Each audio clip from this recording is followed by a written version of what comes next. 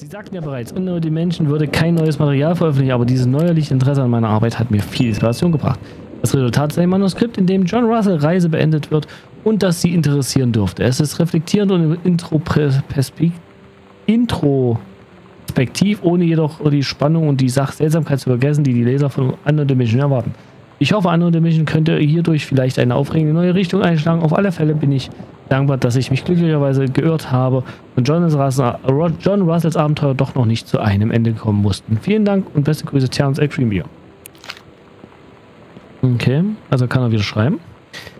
Klappentext. Es ist fast 20 Jahre her, seit John Russell auf dem Verruf folgt, gefolgt ist. Zweimal hat er seinem Präsidenten das Leben gerettet. Die Zukunft hat er so gut wie vergessen. Auch die Gefahr von... Auch die Gefahr und die Spannung, die Zeit, als, es, als er von Bedeutung war. Als dann plötzlich der nur allzu bekannte Riss in der Zeit vor seiner Nase entsteht und eine frühe Führungsoffizier herausguckt, zögert er keine Sekunde. Ist der Präsident in Gefahr? Nein, das Leben, das sie diesmal retten werden, ist ihr eigenes. Dient ja richtig ein. Was ist hier für eine Tour? Hier geht's raus. Oder auch gar nicht. Nee, wir dürfen hier nicht raus. Wo wir es machen werden, Geheimtür unter der Treppe. Letzte Vorbereitung abgeschlossen. Geheimtür unter der Treppe. Im Foyer. Hier hinten links. We agreed our last night together would be our happiest ever. And we'd forget tomorrow was going to come at all. It Ah. worked for a while. We had a good time seeing Oscar off. Then ran up to the attic to look through our photos, to find one for Lonnie to take with her. And looking at them, I realized they were all in the past. And there wouldn't be any more. And I didn't know what I was going to do. And I cried. And she held me.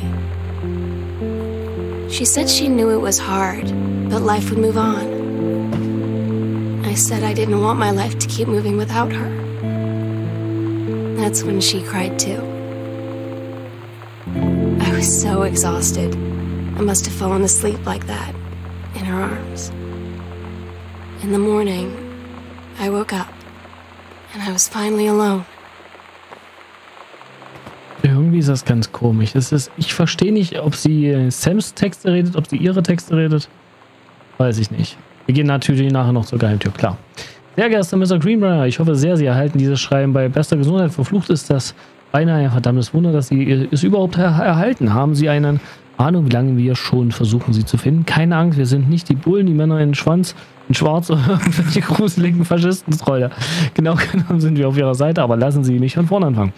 Unknown Dimension ist, ist, was man einen Nischenverlag nennen könnte.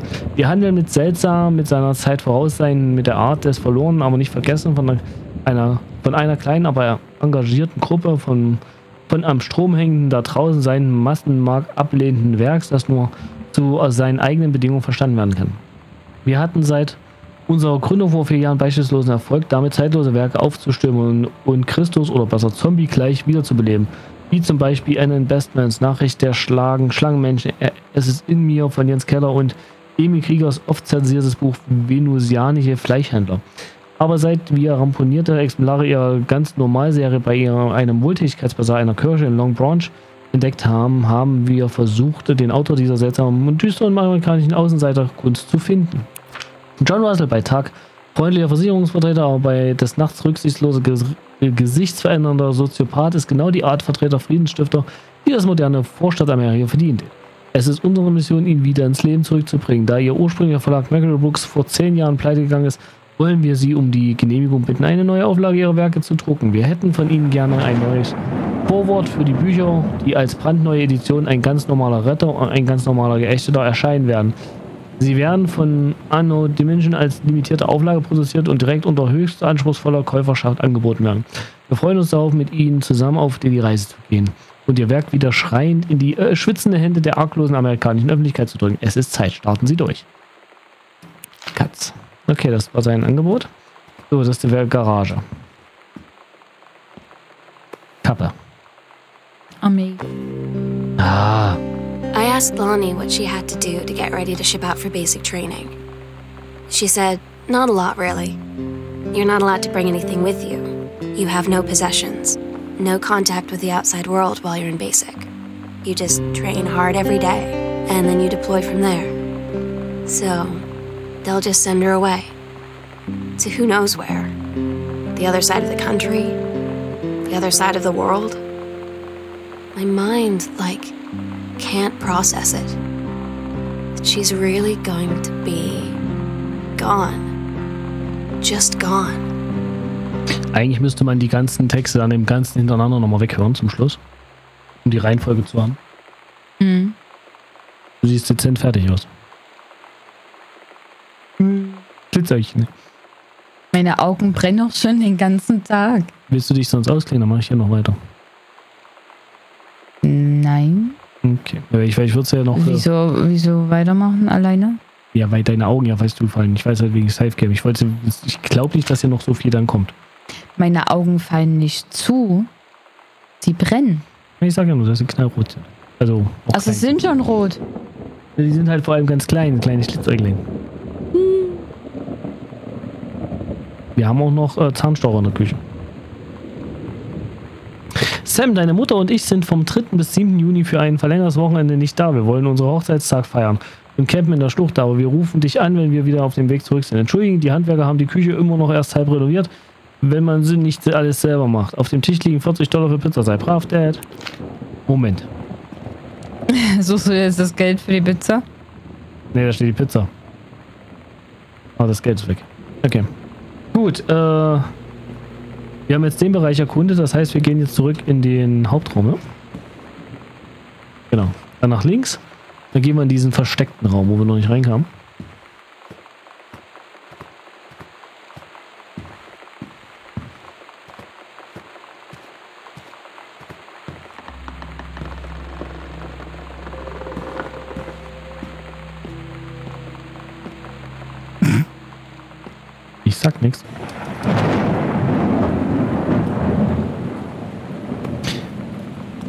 Besessenheit und Exorzismus auf das übernatürliche Einwirken und unerwünschte Geister befreien. Aha.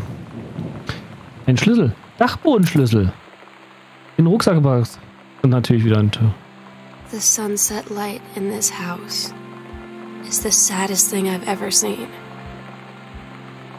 I just want to sleep.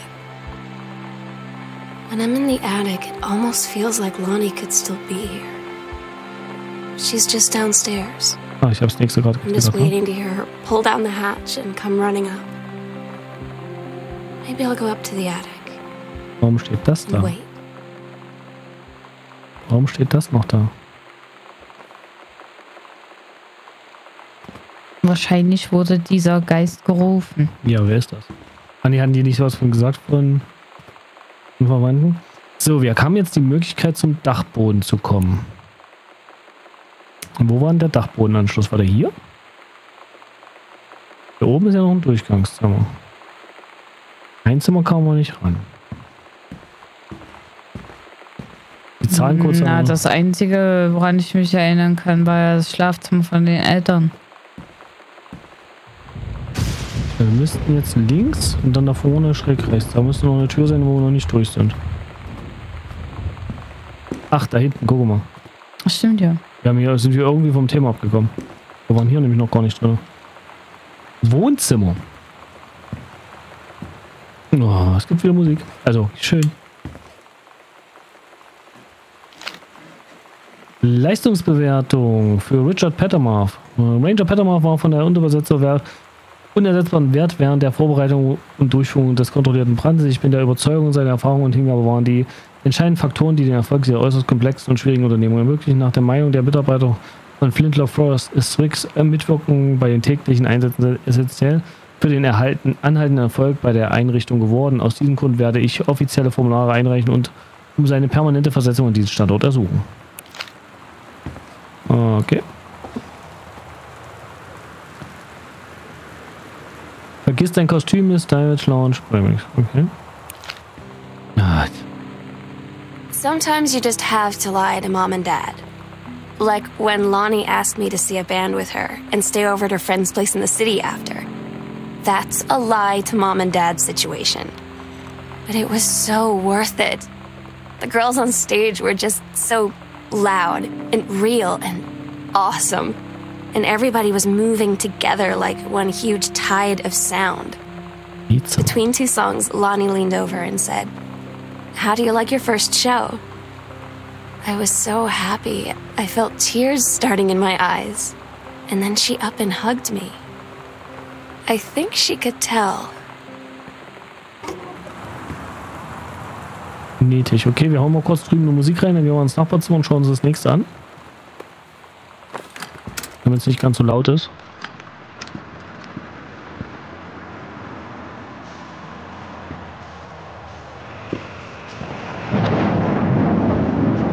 Okay.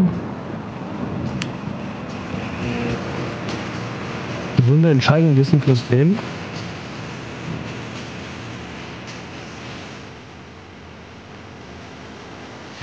Dann die festzieht. Mal gucken, ob man die zusammenfügen kann. Johnny, heiliger Bimbam, ich war in der Bibliothek und das, da ist mir etwas in die Ecke aufgefallen und da habe ich eine Geheimgang gefunden und da war ein gruseliges altes Zeug von Oskar drin. Oh mein Gott, das muss ich sehen. Wir schwänzen die Sechste. Habt ihr den gucken schon? Wo ist der? Hier. Der ist neu. Okay.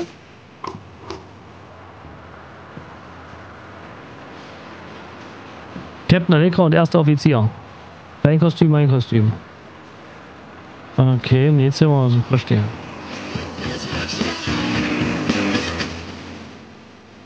Dankeschön. Kann man das da wieder reinfriemeln? Alle. Ah, okay. Sollten wir vielleicht mal da hoch, ja, ne? Sam's Darkroom. Do not enter if red lights are on.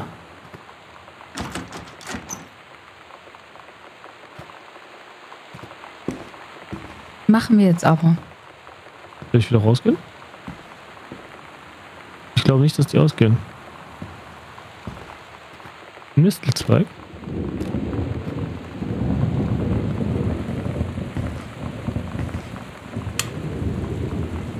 Sam, ich werde nie vergessen, was wir hatten. Bleib stark, zeig's allen. Ich liebe dich, Lonnie. No. Kick ass. So. Sonst kommt wieder Text. Oh my god. Katie. I, I fell asleep in the attic in Lonnie and my old spot, and I missed the first two calls. I just barely caught the third one before the machine got it. And it was Lonnie on a payphone. She'd been on the bus to basic and she said she couldn't she couldn't think of anything but me and us and that she couldn't go through with it with the army and being apart and all of it. And so she got off the bus in Salem. She said, Sam, I want you to pack up everything you can and get in your car and come find me. And let's just drive until we find somewhere for us. And she asked me if I could do that. And I said yes. Yes. Das ist auch ein cooles Bild.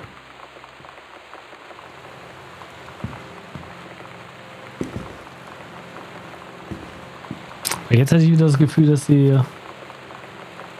Erst dachte ich, dass wir jetzt Leute von der Stimme wären, also von der vom Inhalt. Aber Ja, jetzt war es eher mehr das Sam. Sam, ja, das habe ich dann. Oh, es geht ganz langsam auf. Und es wird dunkel. Katie, I'm so sorry that I can't be there to see you in person, that I can't tell you all this myself. But I hope as you read this journal and you think back, that you'll understand why I had to do what I did. And that you won't be sad, and you won't hate me, and you'll just know that I am where I need to be. I love you so much, Katie. I'll see you again someday. Love, Sam. Und wir sind.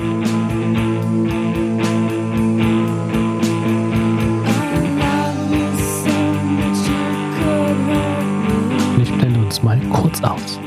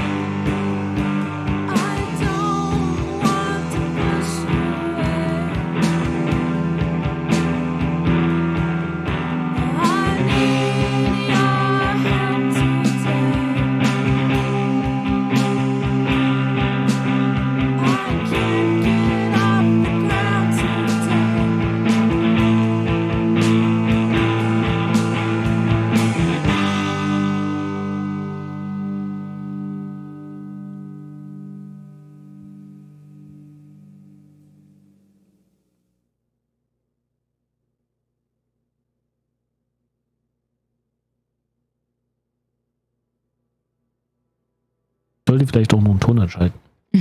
Und damit sind wir theoretisch durch mit Gun Home. Wir haben ja noch diesen einen Raum. Ist jetzt die Frage, ob wir uns den nochmal anschauen wollen. Der jetzt noch aufgeploppt ist. Ich weiß nicht, wie viele Räume jetzt noch da waren, die wir uns noch nicht angeschaut haben. Wir können das jetzt ja. Ich würde jetzt nochmal kurz auf Fortsetzen gehen. Und dann dieses Ding halt Briefe an Caitlin. Also es scheint ja so, dass wir sind Caitlin, klar. Und dass wir von Sam immer in Sams Richtung reden, also weil Sam uns äh, irgendwie Briefe hinter... Lag das vorhin da auch? Katie, Mom und Dad wollten eigentlich für den Sommer das Gäste... Ja. Ah, ja. Okay, ich gucke mal, haben wir hier noch ein Zimmer übersehen? Nein, hier haben wir alle. Weil wir haben unten noch den einen Raum, den würde ich uns nochmal anschauen wollen. Wenn ich weiß, wo es runtergeht. Ansonsten können wir ja schon mal so ein Resümee ziehen, wie wir das Spiel fanden. Möchtest du anfangen? Ja, also es war tatsächlich von der Ähnlichkeit her sehr wie Edith Finch. Wobei äh, Edith Finch war abwechslungsreicher und äh, Es war abwechslungsreicher, ja, und das war halt ein reines Erkundungsspiel. Die Story, ja, ist nicht verkehrt. Aber insgesamt So, war es mir zu ruhig. Dem kann ich zustimmen. Also ich fand es jetzt auch sehr, sehr trocken. Kreuz nehmen. Geister! Und Gott liebt die Welt so sehr, dass er seinen einzigen Sohn gab. Toll. Hier ist es nicht. Ah, den, den Durchgang kennen wir doch schon, oder? Ja. Geisterjäger, Aufzeichnung, Hauserkundung, versteckte Lagerfläche entdeckt. Drei, Bibliothek, Flur. Hier sind mehrere. Ich definitiv auch. So, wir sind Das ist jetzt. ja das, was ich gerade meinte. Hier, gucken wir also. Das Aber ist viel zu ruhig. es stand halt bei uns auf der Liste drauf. Ach, hier kommen wir raus. Okay. Es war halt die Vorstellung irgendwie ähm, interessanter als das Spiel jetzt selbst. So, jetzt sind wir hier. Hier lang, hier muss ein Panel sein. Oder wir stehen doch jetzt. Nee, falscher Gang. Und gehen jetzt hier an die Ecke und dann den nächsten wieder rechts. Hier muss ein Versteck noch sein. Das hatten wir. Achso, das. Das ist neu.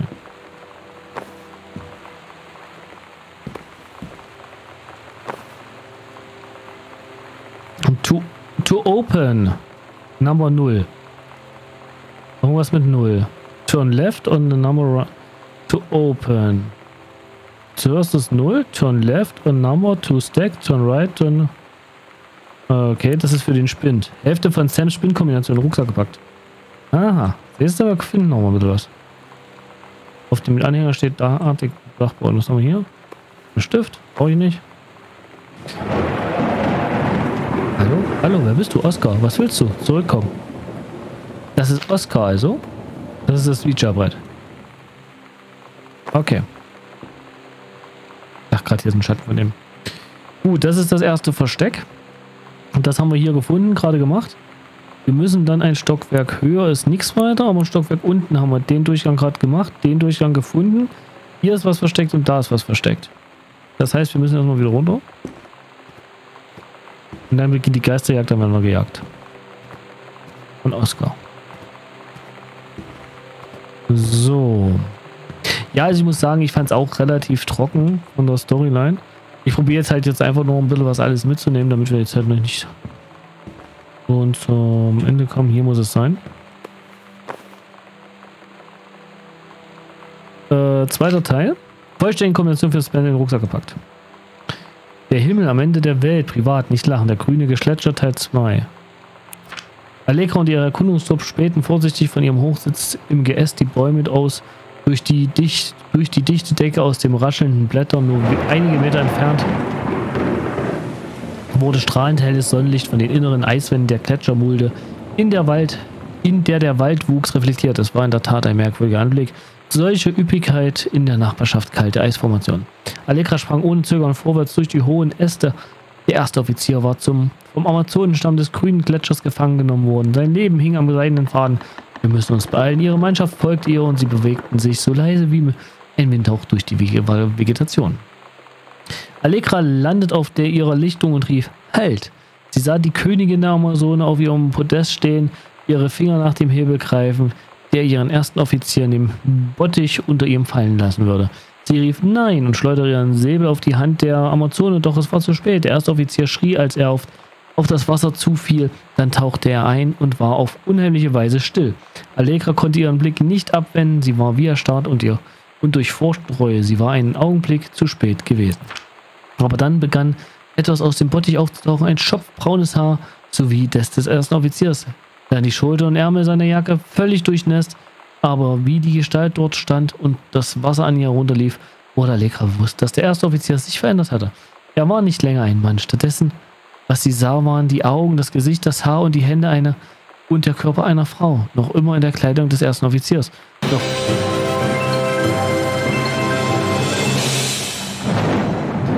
Hot Volcanic, vielen, vielen lieben Dank für 250 Bits. Das kommt unerwartet und vielen lieben Dank.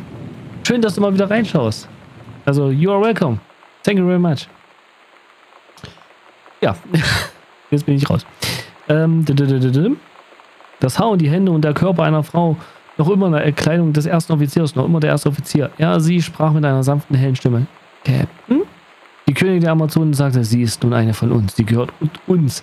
Allegra zog ihr magisches Vorderlader aus dem Gürtel und ihre Crew machte sich die Schwerter bereit. Allegra starrte der Königin in die Augen sagte, das ist die Liebe meines Lebens und du kannst sie nicht haben. Fang am besten nochmal an, am Anfang bei dem Spiel an. Na klar. No worries, have a great evening, day, morning. Thank you very much. You too. Äh, wir haben jetzt noch hier, jetzt haben wir noch das Arbeitszimmer hinten auf der Rückseite.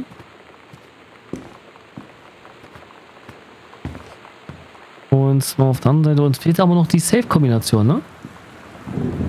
Die haben wir auch noch nicht. Hm? Achso. Hm. Für den Keller-Safe. Uh, the Mistfest plus sperriges Maidenhead.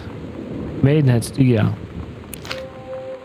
Eintrag? At Todd's brother's place after the show, there was only a futon to sleep on, so Lonnie and I shared it. The lights went out.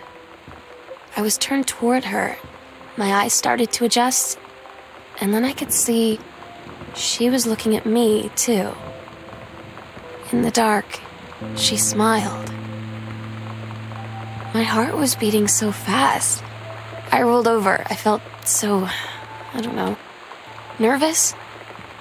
After a minute, she put her arm around me and was so close and whispered in my ear, I really like you. I just nodded my head and I really hope she could tell. I really hope that she meant what I think she did. I felt like a shook up can of soda ever since. I hope we have the chance to talk before I explode. Gewöhnung an die Dunkelheit. Aber warum Schlüssel nehmen? Wieder Tagebuch, okay? Lonnie came over today. Das ist Lonnie. Everything was different. She was sitting at my desk chair, and she wouldn't look at me. Finally, I asked her what was going on. She said she felt like she'd done something wrong that night in the city. Like I must think. But I said no. There was nothing wrong. I just wanted to say. But I couldn't find the words. I felt like I was gonna cry, but I wasn't sad. She got up and sat next to me on the bed. I looked at her. Lonnie, do you think you could ever. And that's when she kissed me.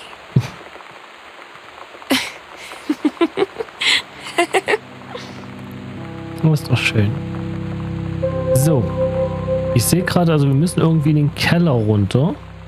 Und mit da noch eine Tür, die verschlossen war? Es stand doch irgendwo schon mal da hier, genau da, zum Keller. Da ja, drüben. Ja. ja, ja, da kommen wir ja dann hier unten an. Das ist ja dann hier Durchgang. Ja, aber links hatten wir ja auch schon. Ja, aber haben wir noch irgendwas eine Kellertür zu? Wir haben jetzt den Kellerschlüssel bekommen. Wir haben jetzt den Basement auf dem Anhänger. Wir hatten das, Dachboden hatten wir und wir hatten den. Und wir haben jetzt den Basement bekommen. Na, dann geh doch einfach mal in den Keller und gucke.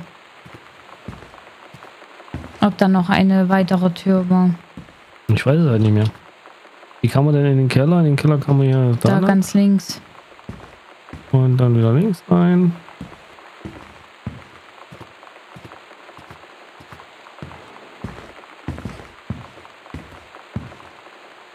Jetzt bist du auf der anderen Seite. Da lang.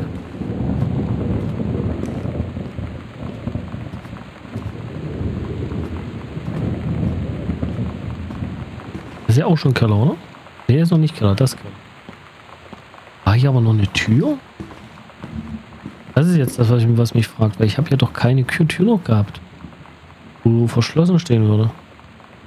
Guck Oder mal maximal die Tür hinten, die nach oben führt, oder? Die war doch zu, ganz hinten zum Schluss.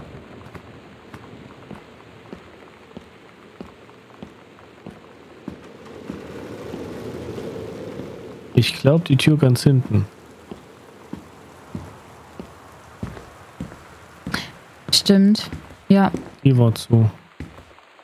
Boah, jetzt aber nicht weiß, wohin die go. Hey, wir haben die Tür aufgeschlossen. Okay, da sind wir jetzt da, da sind wir da, da sind wir da, da sind wir da. Dann sollten wir alles gefunden haben. Das haben wir geöffnet, das haben wir geöffnet. Hier waren wir drin.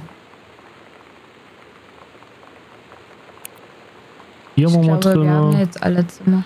Durchgänge haben wir, das haben wir geöffnet. Ja. Und der Abspann wird dann wahrscheinlich nochmal genau derselbe sein. Gehe ich von aus. Wir sind jetzt hier. Kommen, kamen, was war das? Nach unten. Ach, das war der Weg hier nach unten.